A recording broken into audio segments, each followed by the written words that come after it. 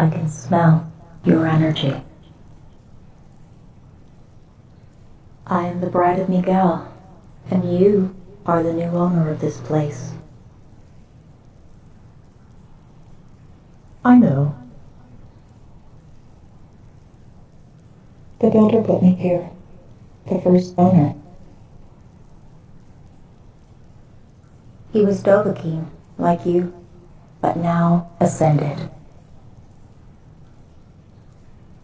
Yes, Ysmir was Dovahkiin. Before he was General Talos, and before he was Tiber Septim, Ysmir built this sanctuary to meditate beneath the mountain of the voice. He then found me, and we made a bargain, which is why I am here.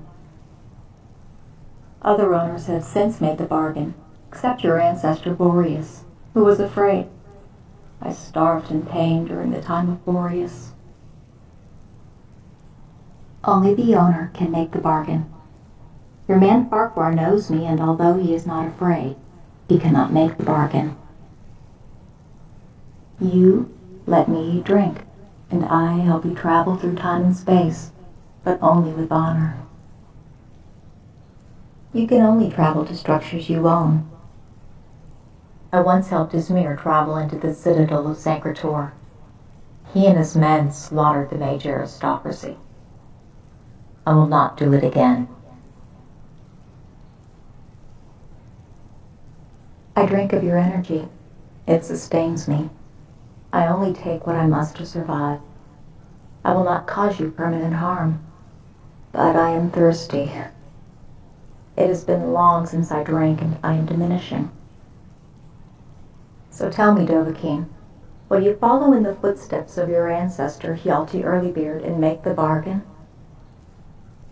Or will you relegate yourself to the foot and mount as did Boreas the coward? Good.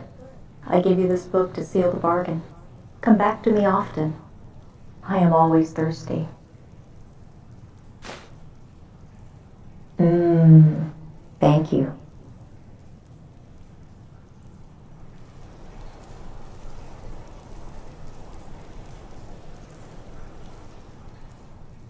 I've missed you, Dovahkiin.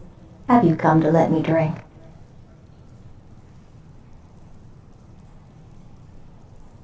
Good. I am always thirsty.